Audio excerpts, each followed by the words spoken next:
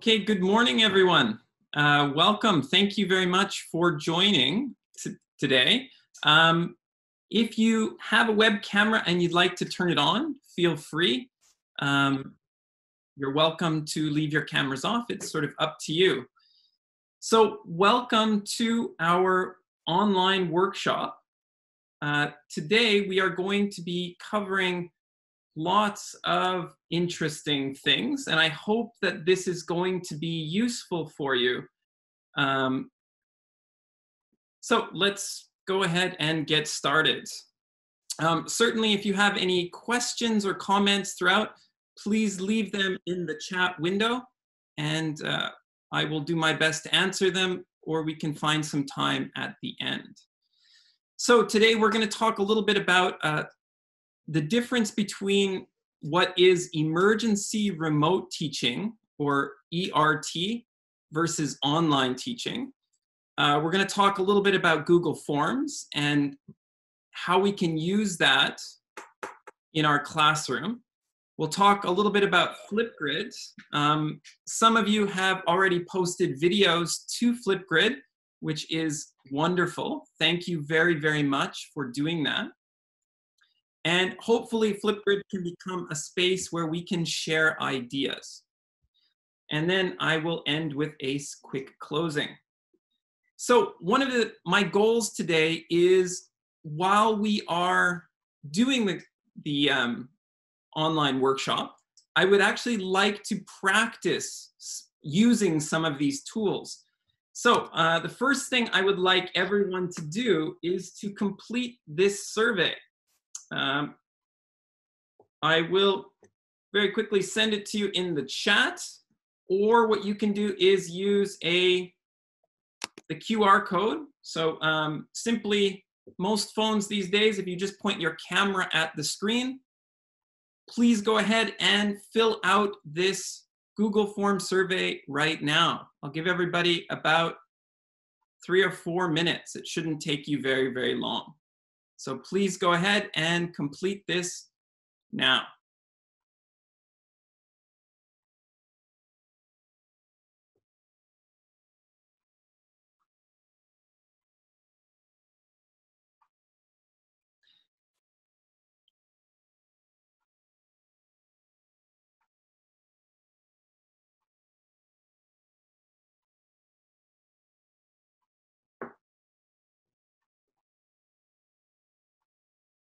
I'll come back in just one moment. Please go ahead. If you're just joining us, please complete this Google form survey if you can.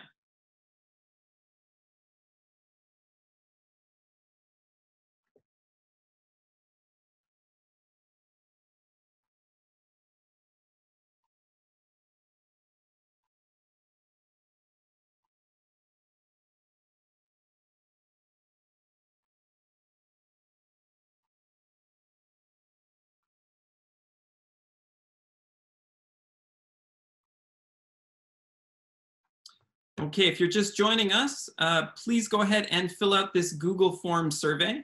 Uh, it should be very, very quick. Again, you can just use your phone or uh, I will put again the link in our chat window.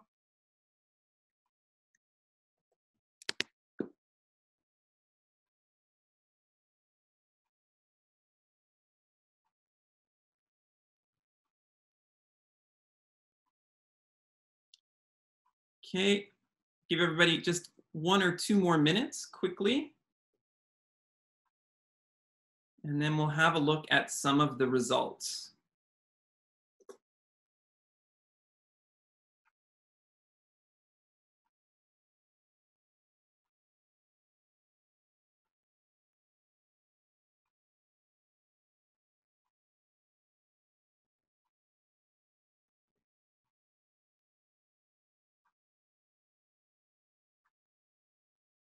So what you are seeing now on your screen is the results from the survey.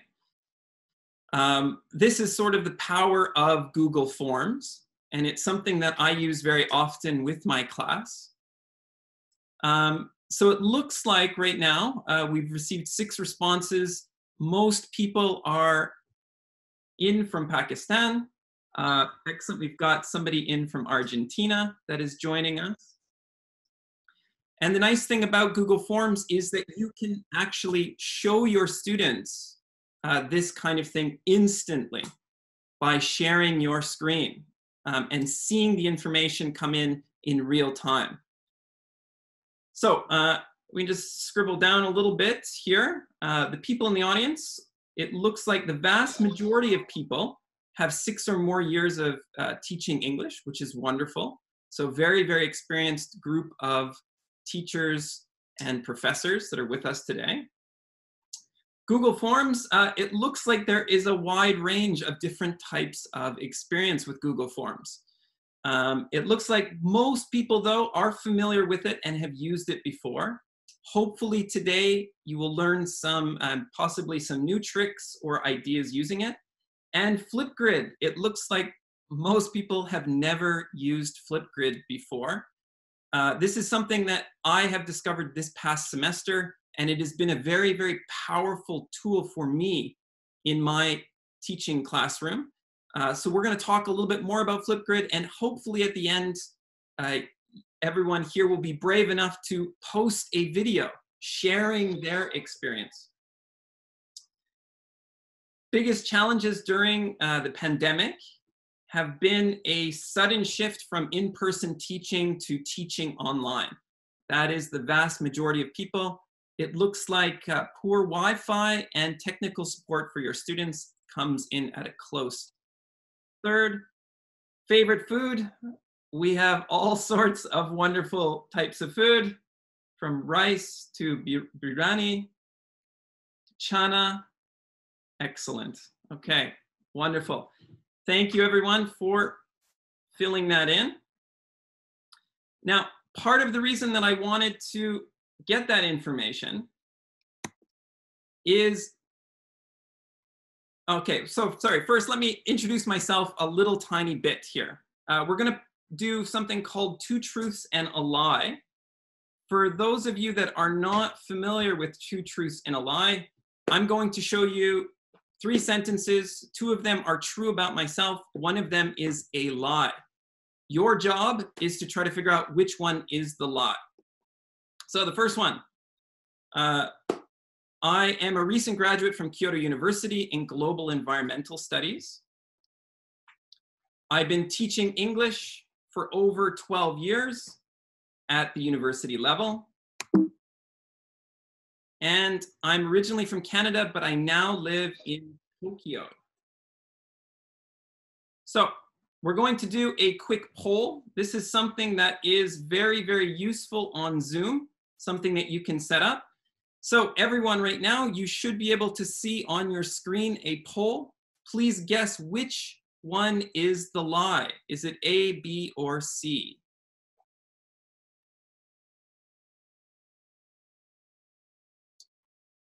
Okay, four respondents out of 16 so far.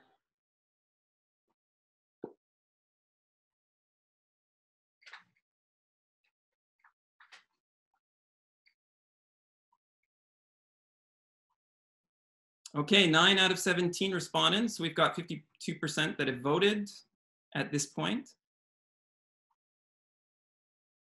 Now, uh, just to talk a little bit about polling, um, polling is something, if you are using Zoom, it is something that you can set up on the website itself. And it is a very, very powerful tool that you can use with your students to quickly get information from everyone. Uh, I'll leave the poll open just for another 20 seconds. So if you haven't, uh, please go ahead and complete the poll now.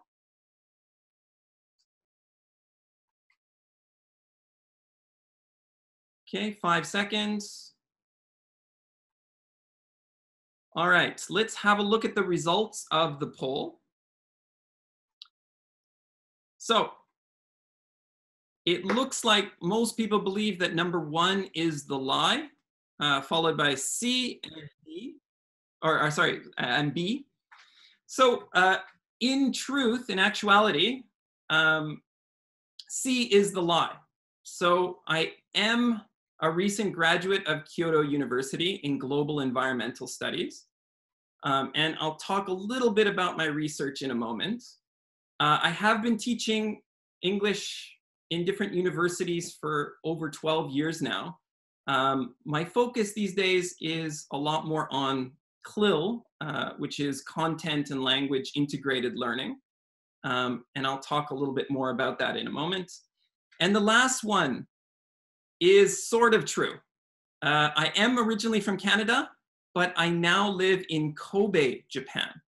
So Kobe is a small city outside of Osaka, uh, and I teach at a university called Konan University. So thank you very, very much for completing that poll.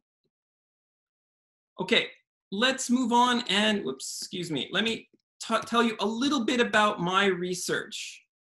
So uh, what I did my PhD in is global environmental studies. And what I focused on was where sustainable development, so these are, most of you would be familiar with the sustainable development goals, and uh, English language education, where they meet. And I've sort of uh, created a new field called LESD, or Language Education for Sustainable Development. Now, today's workshop is not going to be about LESD, um, but I will be sharing some information um, with you all. And if you're interested in the research, uh, there will be some links, and please get in touch with me if you're interested in this field. So why in the world am I teaching about online teaching um, today, giving this workshop? Like you, uh, I have been thrust into online teaching and I've learned a lot and I hope to be able to share those things with you today. So before we begin, let me send you a file. Uh, this file is basically today's handout. Uh, it will have lots of links on it at the end, and then also some important links uh, to research and whatnot. If you are interested, there is a lot of information there, and I will be referring to those links as we go along. Okay, so I wanted to really talk about something that I think is a big misunderstanding. Um, because of COVID 19 and the pandemic, we have all been suddenly thrust online. If you were doing person to person teaching before, uh, you are now online teaching. And there is a lot of confusion between what we are doing a lot of people think we are doing online teaching. And in fact, we, we really aren't doing online teaching. Online engagement, as the quote is talking about, takes a tremendous amount of work and planning in advance. And like the survey that we did earlier showed, uh, this sudden switch from person to person to online teaching this is not really online teaching. Uh, this is emergency remote teaching. So what does that term mean? What is ERT? Let's first talk about some of the details about online teaching, because I think this is quite important.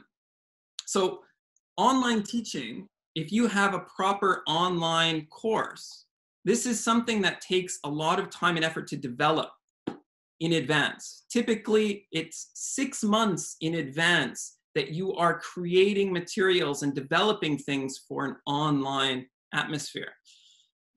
Um, it's meant to be a long-term solution. So this is something that if your university is doing online teaching, you are using it every single semester, for instance. It's not something that's urgent. It's something that's planned methodically and thought about in advance. It has the support of your university, a lot of support. So it has faculty members, IT people, and the students are voluntarily enlisting for online teaching. Now, if you recognize that as online teaching, you know that most of us are not doing that this semester. Most of us have suddenly been thrust online, so there hasn't been a lot of time and development in these courses. We're scrambling to get things ready. It has been very urgent, the global pandemic tends to do that to people. Uh, it's a short-term solution. We are we are hoping that we find uh, solutions to this COVID-19 uh, in the near term, in the next two years, and we can start going back to normal types of teaching. So it's very important to understand that emergency remote teaching is very, very different. We are reacting to this crisis, and it's really beyond our control. It's a pandemic. Uh, it is meant to be temporary, uh, and I, I understand that there's an argument there where our entire teaching world is going to be changed because of this pandemic. But eventually, we are going to be moving back into the classroom. Uh, whether that is some sort of a hybrid model. Uh, I know my university here is considering different ways to do that in the fall, which might mean the classes are halved, so half the classes are online, half the classes are in person, and that means that we, we lower the amount of students that are in a group. Um, it lacks resources, so suddenly being thrust online means that you do not have access to a lot of resources that you would for an online teaching courses. For example, IT people. Um, I know my university, they're not very helpful right now with developing courses because they are dealing with Wi-Fi issues and getting students online and computer issues.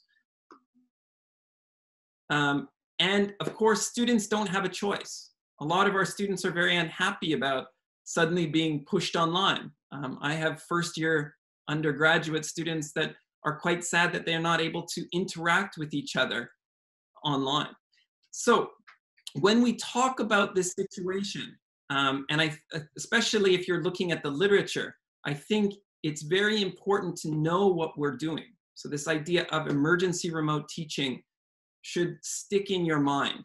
Uh, we are reacting to a situation and trying to do something. So this workshop is really meant to help support you with this ERT.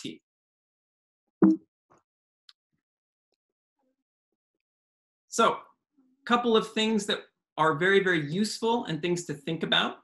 You'll notice that there's a source at the bottom. Um, the PDF that I sent you earlier has all of these sources there um, as useful materials and references if you would like. So it's really important to communicate frequently and honestly. So that's communicating with our students um, as much as possible and, and being honest with them. If you're having Wi-Fi problems, let the students know that. Um, if you're not sure how to use a program that you're going to try today, right? If you're trying Flipgrid for the first time, for ex example, be honest with the students because they are in a similar circumstance and they will understand we need to prioritize our needs as teachers um, and what is best in our classroom. This means, uh, well, to give a, a, an example on my end, um, we had a very detailed curriculum developed for an undergraduate course on global challenges. Uh, this is a, a language and content course. And the course is quite heavy uh, for the students. We were suddenly online and we had to throw out about 20% of the material because it just would not function. We had to prioritize what we could do in the classroom, um, what was fair for our students. So we learned a lot about that. Being flexible again, um, just like prioritizing needs, we need to understand that students are going to have Wi-Fi issues or computer issues, and we need to be responsive to those things. This is a lesson that I learned uh, a very difficult way this past semester. We need to keep things as simple as possible. Um, at our university, we had uh, an extensive reading program, um, and we were using all sorts of different resources online, and we were using mostly our library's books. And of course, suddenly students cannot go and get extensive readers from the library. So we really had to figure out what would be an easy solution, something that's digital. And we found something, but it wasn't until about halfway through the semester. And it was a lot of difficulty in the beginning, a lot of resistance to making those changes. Um, but when we did, it was easier for us and the students. and of course, establish routines and schedules. Um, students get used to a certain way of doing things. Uh, for example, I use Google Forms as an attendance sheet at the beginning of every class. And the students, um, at first it was a bit strange for them, but then they got very used to using those QR codes. It became an automatic way. And it was a way for me to ask some questions and get feedback from students um, and, and actually be able to interact a little bit with students on uh, Zoom. So I was, like I showed you earlier, the results of our survey. Uh, I'm able to interact with the students and, and let them know that I'm responding to their needs. So these routines, these schedules are very important. And of course, collaborating with others. So uh, I'm very, very thankful to uh, Warda Rizvi for organizing this because this is a way that we can collaborate, where we can learn from each other um, because all of us have different experiences, different contexts, but we've all been thrust into the same situation. So collaborating with your colleagues, collaborating online, these are all very important ways to do it. Okay, let's talk about Google Forms. So Google Forms are a very, very useful tool. And it's something that I found that has been very, very powerful for me in the language classroom. And Google Forms can do all sorts of different things. So I'm going to put you in the driver's seat again, and I'm going to ask that you take a small quiz. Please jump online right now. Um, whoops, sorry. Let me just get out of here for one moment. I will put this in the chat window. Um, if you can, you can use your phone to scan the QR code. Uh, oh, there's my chat windows disappeared. Okay, so let me put it in the chat right now. Please go ahead and complete this survey right now. Again, uh, if you're just joining us, you can use your phone and just your camera app to take a picture of the QR code and it will take you directly there. So I'll give everyone about um, three or four minutes. Please go ahead and complete this survey right now.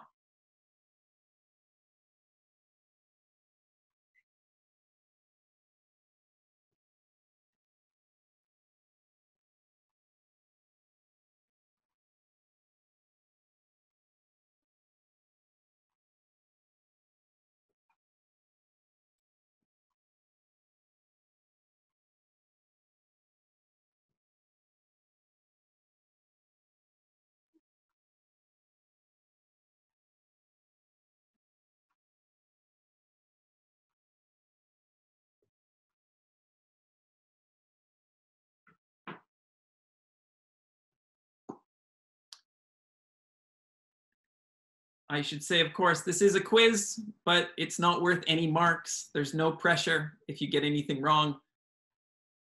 So please uh, go ahead and do this right now. And I will show you what this looks like uh, once we start getting a couple more results.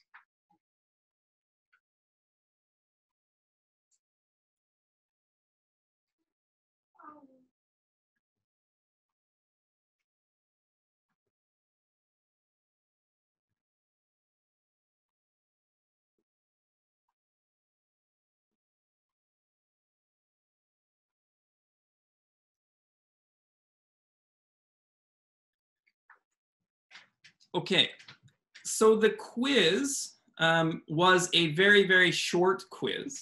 Um, another amazing use for Google Forms is setting up a quiz that can automatically give students feedback. Now, uh, I have actually started using this in larger classrooms for exams and assessment uh, doing the same sort of thing. So some advantages are it is automatically marked and you can get almost instant results. Another nice thing about Google Forms is you can actually set it up so that some of the test is automatically marked. For example, if there's multiple choice questions, and then if there's short written answer questions, it has the ability that you can actually enter the scores for those individual sections, and then you can release the uh, scores to your students through email. Uh, so it is really quite a powerful tool. Okay, let's take a quick look how everyone's doing. So um, ERT stands for Emergency Remote Teaching. I uh, put in a couple of different things. So I noticed there is some correct answers that were marked incorrectly. Uh, I didn't, uh, I only put in the answer key for everything in small letters. So emergency remote teaching, everything in small letters. And then emergency remote teaching where emergency E was capitalized, remote was capitalized, teaching was capitalized. You could put in several more um, so those people that did get it wrong, for example, uh, this person here has the right answer, but it was marked incorrectly. So these are things that you can address afterward by changing the answer key. Um, so this past semester during COVID-19, we talked a little bit about this, but it is emergency remote teaching. We really are not online teaching. Um, again, online teaching takes six months in advance to prepare and to develop. If you've ever taken an online course through edX, for example, you understand how thorough those courses are. Lecture videos are set up beforehand, assessments are set up beforehand. We were not doing that. So really this semester, we are emergency remote teaching and possibly for the foreseeable future, depending on your schools or your universities. Um, online teaching, yes, uh, takes a lot of effort to design, develop effective, engaging online education. And just to emphasize that again, this is not what we're doing this semester. Of course, we've been working hard behind the scenes, but it's been reacting to a global crisis, uh, not preparing six months in advance for it. So we are ERT this week. And yes, everyone got that question right. Thank you very much. And my research is called Language Education for Sustainable Development. Um, I will, there's some resources in that handout that I gave you if you are interested. And I'll talk a little bit more about that at the end.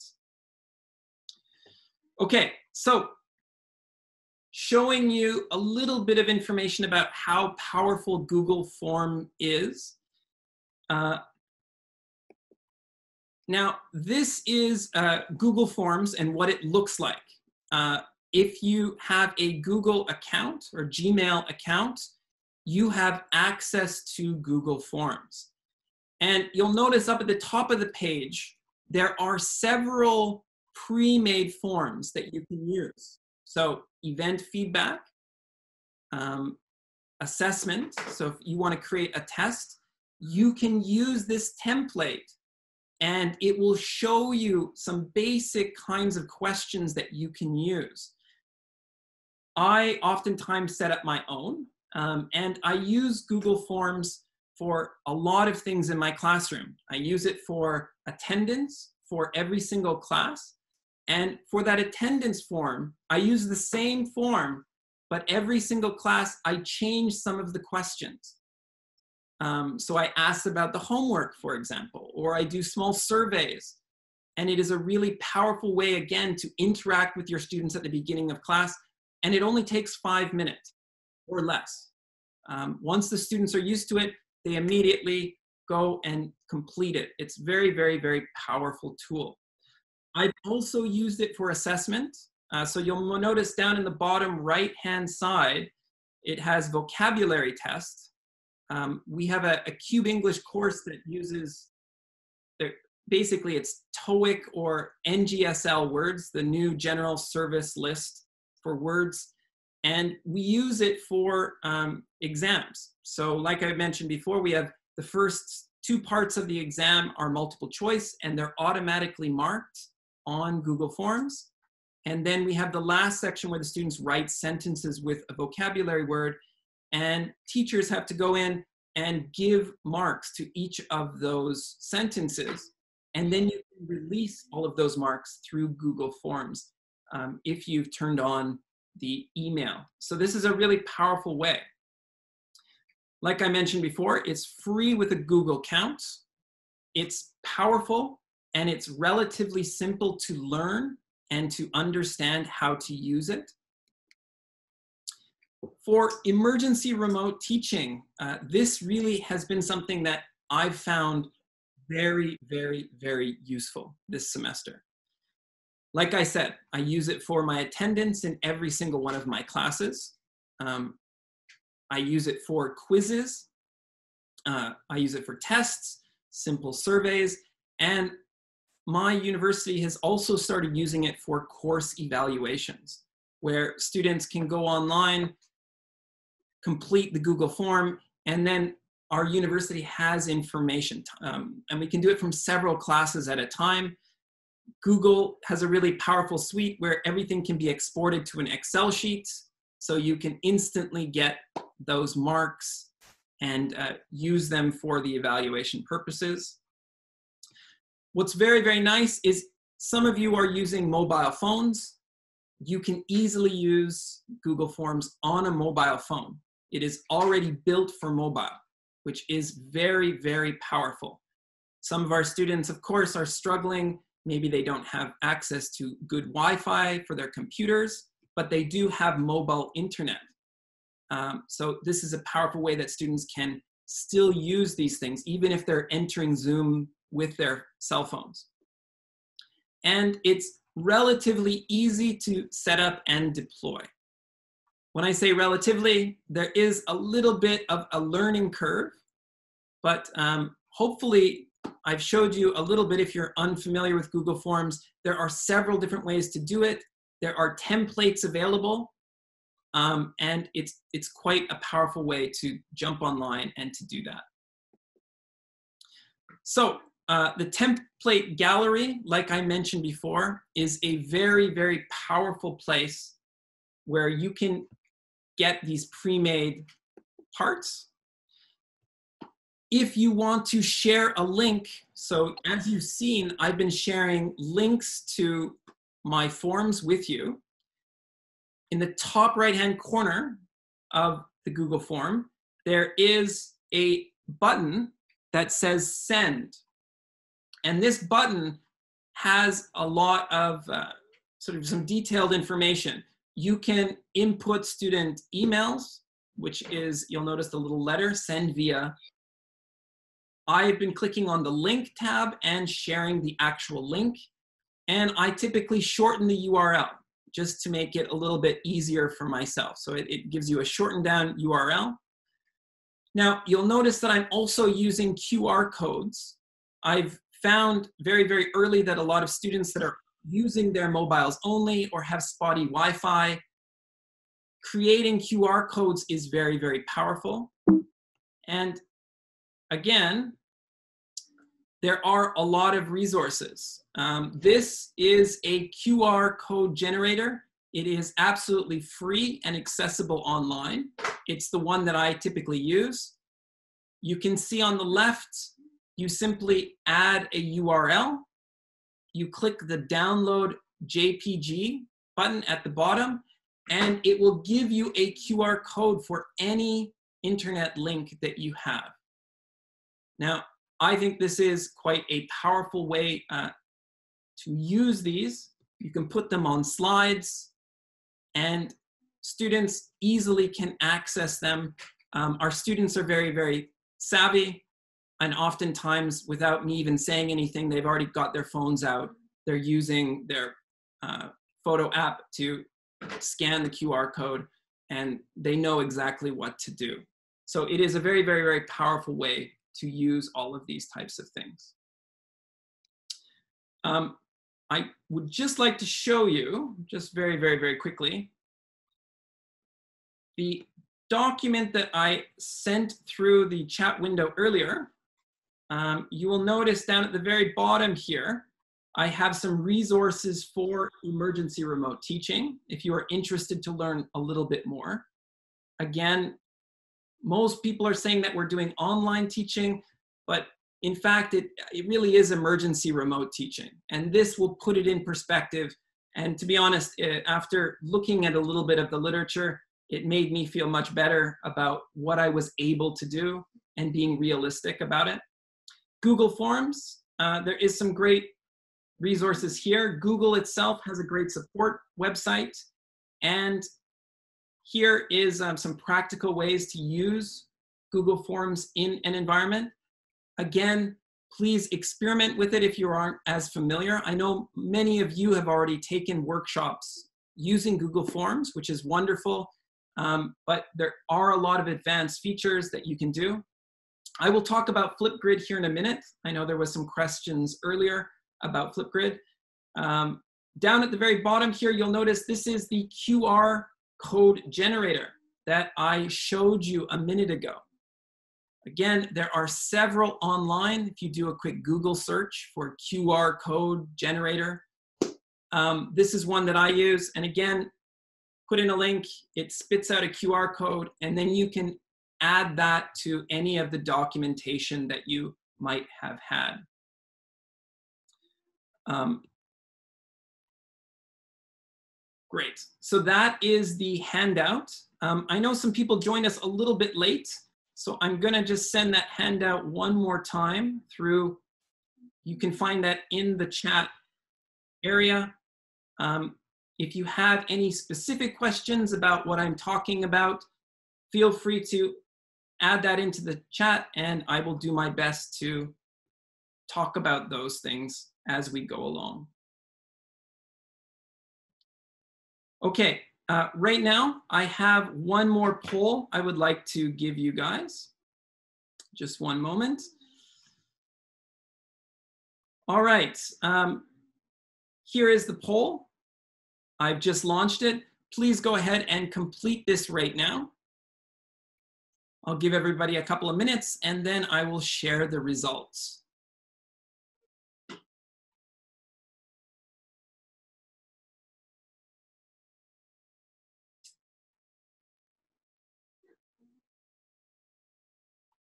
Okay, two or three minutes. Thank you.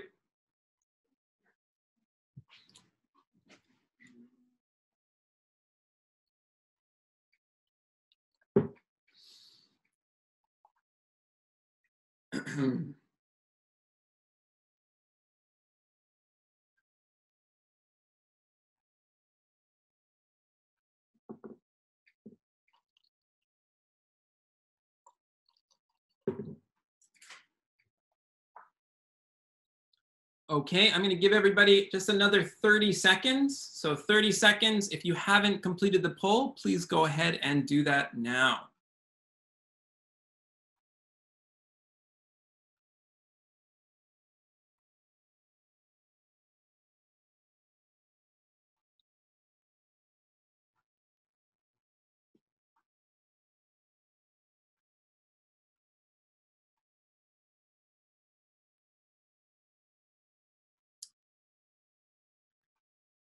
All right. Thank you very, very much. Um, let me show you the results. So you should be able to see the results right now. Uh, the most common ways that people are using Google Forms.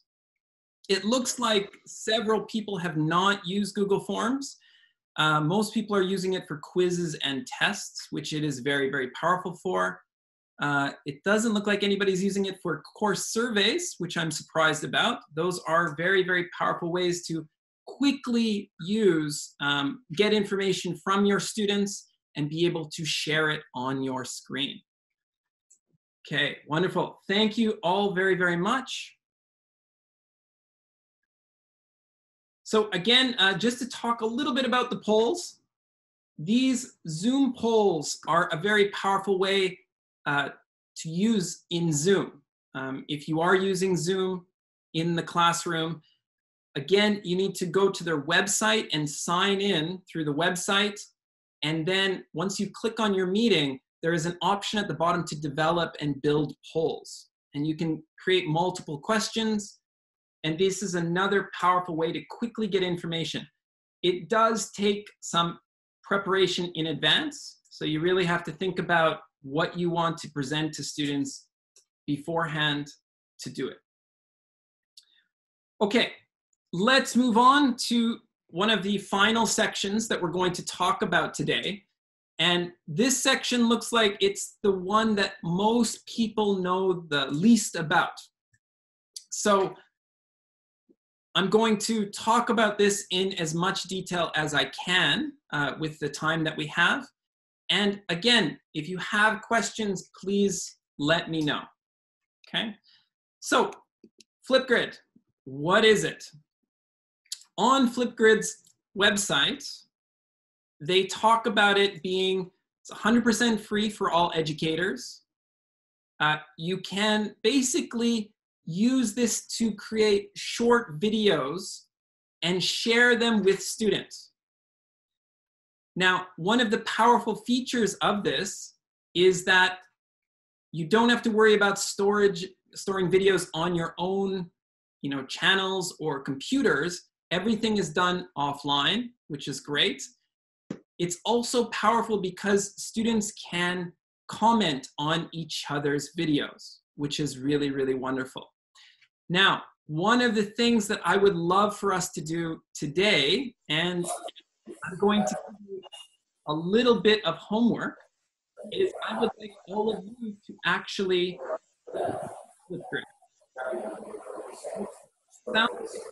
Somebody microphone is on.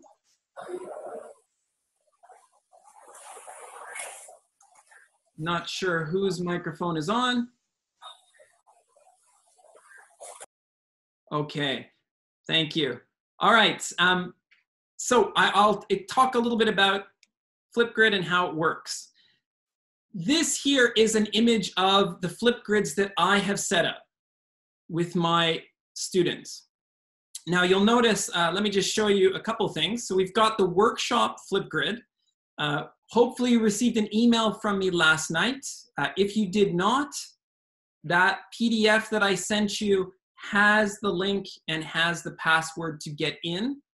I would strongly encourage you to create a video uh, after this workshop so that we can all share each other's knowledge. Again, we have a lot of very bright people with a lot of experience. So we are going to want to share these ideas together. Now, I've used this for my Global Challenges class. Um, and what the students have done is they create videos based on their homework. To give you a bit of an example of what these kinds of videos look like, uh, I would like to just show you my Flipgrid right now. Just one moment.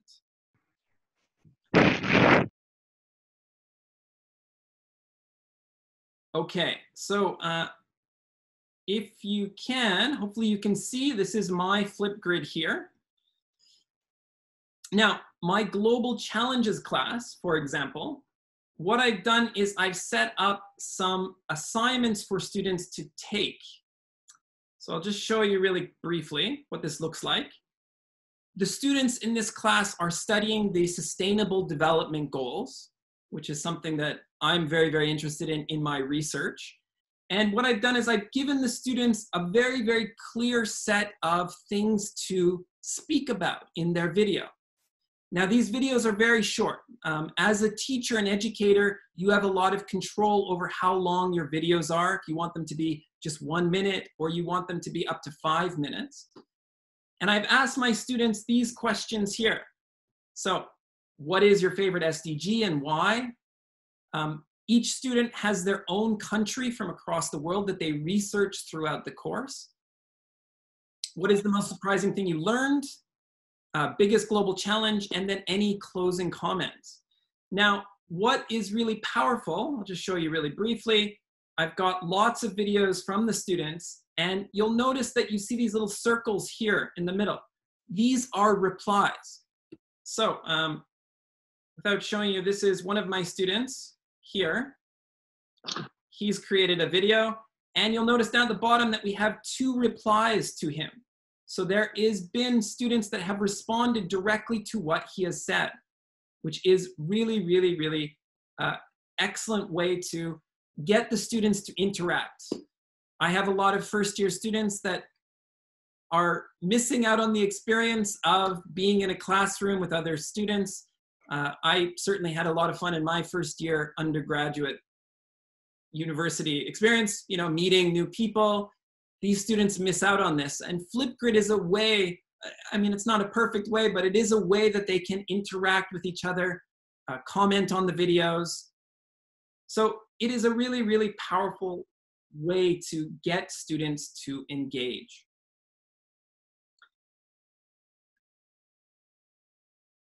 So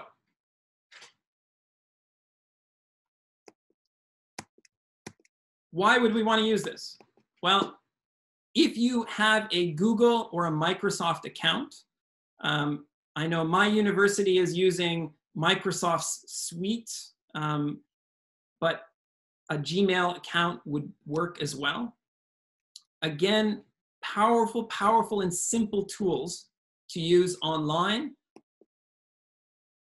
One of the things that I, I haven't personally done this yet, um, but I know some of some friends of mine that are teaching at other universities and high schools here in Japan, and they are using it as a speaking assessment tool.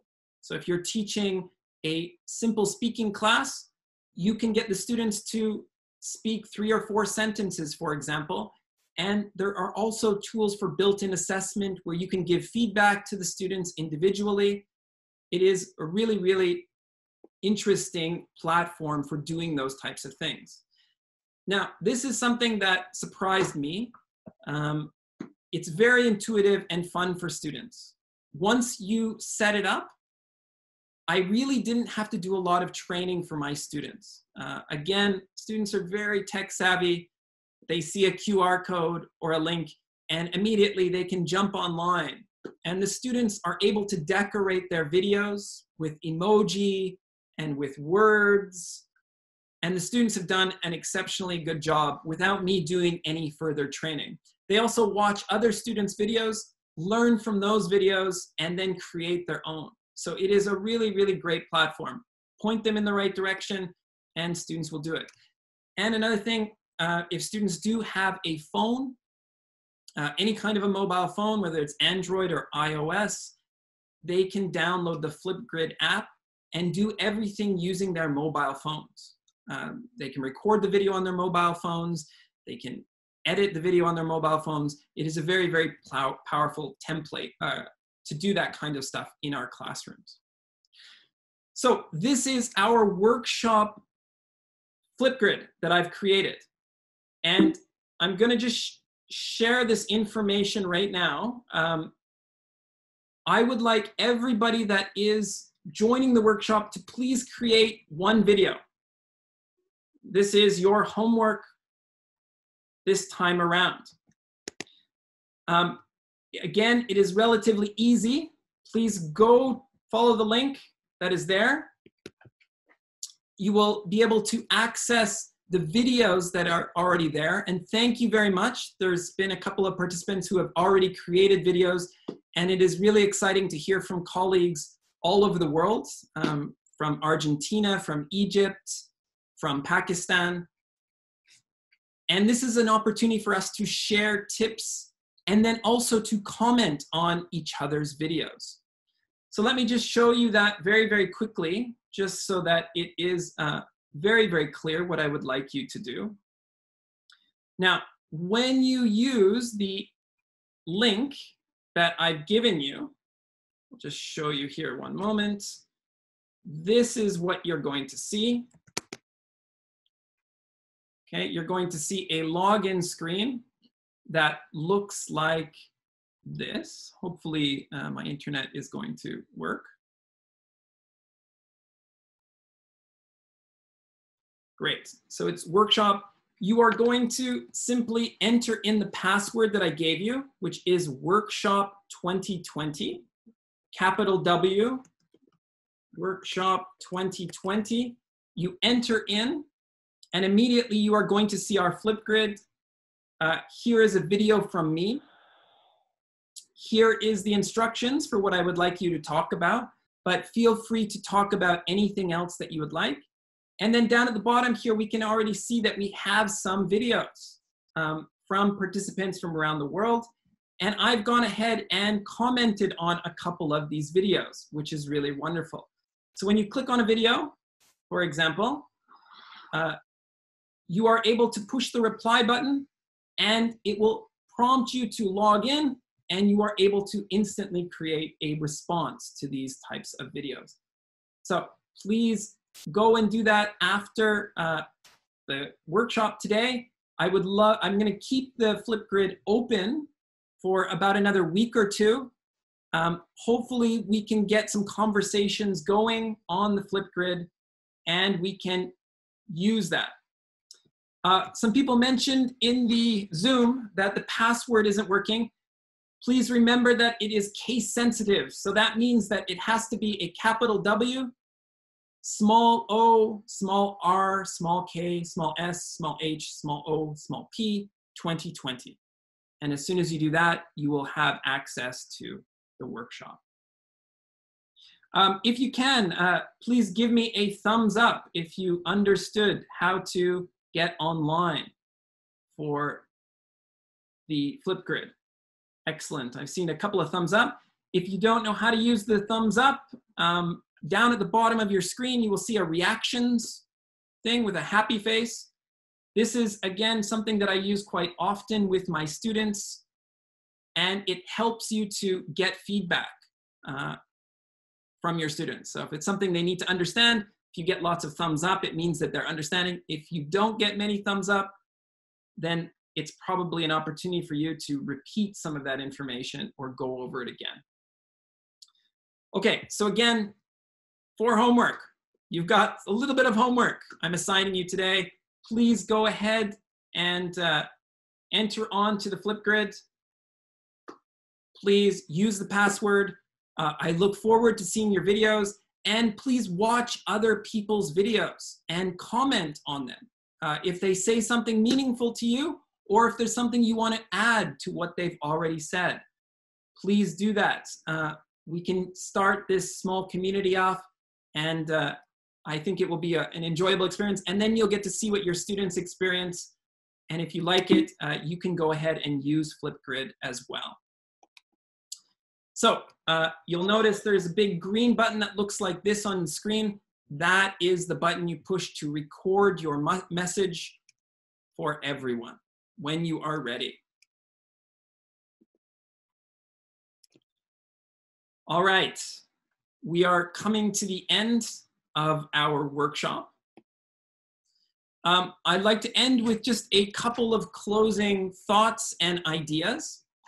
Um, and as well, uh, if you are thinking about questions or things you would like me to talk about more, feel free to drop a question in the chat and I will do my best to address those questions at the end. So a couple of closing thoughts. Let's talk about this here for a quick second. So um, the first thing that I would like to mention is I want to really emphasize this idea of emergency remote teaching or ERT.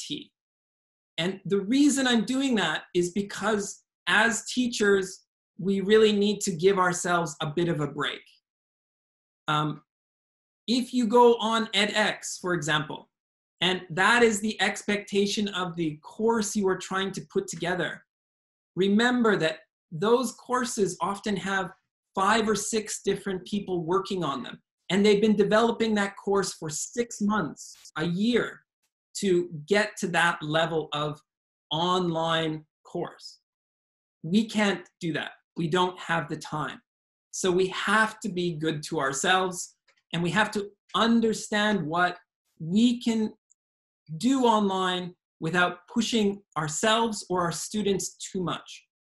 It's been a stressful semester we are continuing to go into this pandemic, um, and countries, of course, are reacting different ways, but this is going to be going on for the foreseeable future. So let's limit our expectations, do the best you can, but remember, keep it simple, find a community to help you with it, and um, do the best you can, of course.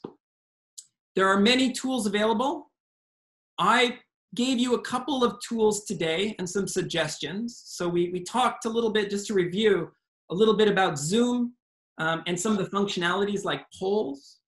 Uh, we talked a little bit about Google Forms and the different types of powerful features that you can use Google Forms for, whether that's attendance or exams. And then we also talked about Flipgrid. Um, and Flipgrid, I hope that you will create videos and jump online and learn a little bit about these. My suggestion is that you get very good at a few tools, that you don't overstretch yourself.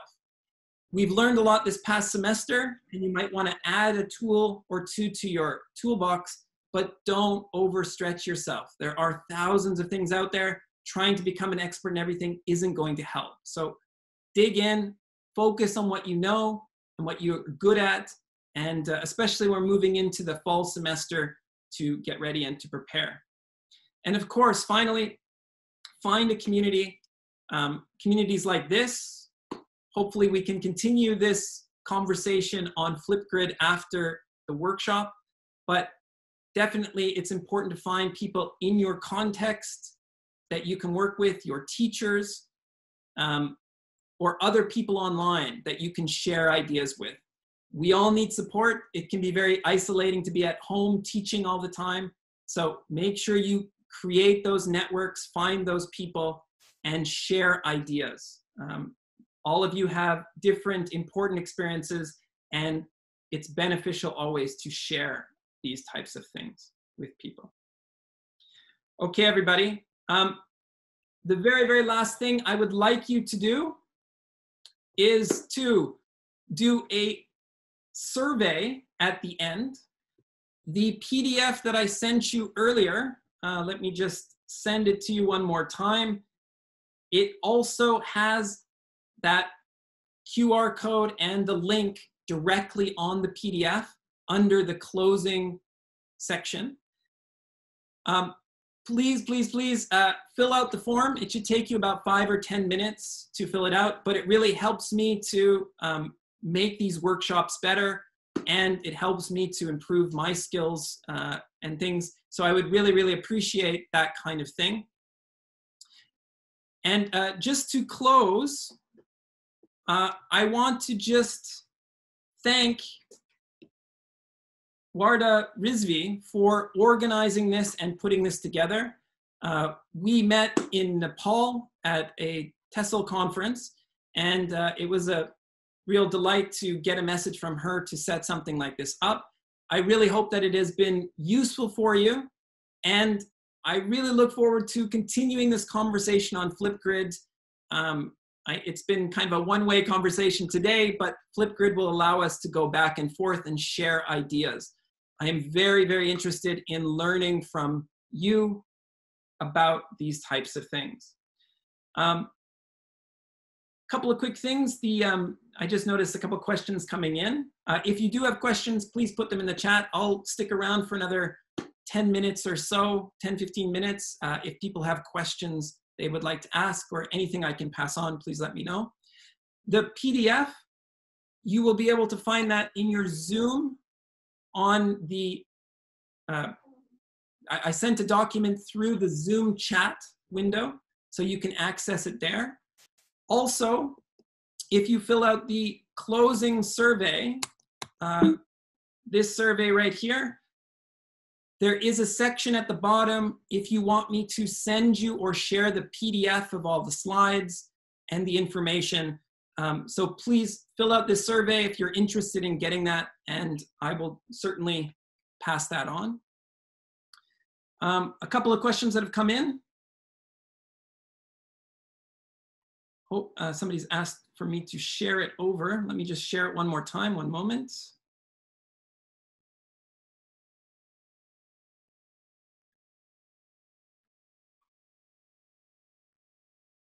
Okay, here it comes. So everyone should have access to that now in the chat window.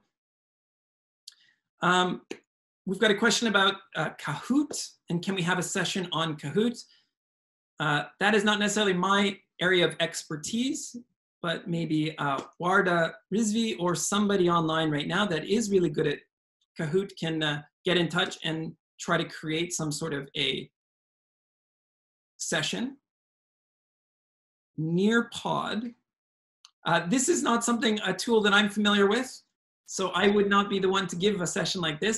But if people do know about Nearpod or Kahoot, please share this on our Flipgrid. The Flipgrid would be an excellent place to talk about those things and to share information about them if you have an expertise or you're familiar with them. Wonderful. Um, I, get, I think that's it, unless there's any more questions. Um, Warda Rizvi, if you would like to say some closing comments or words, you're welcome to. If not, a huge thank you, everybody, uh, for your time today.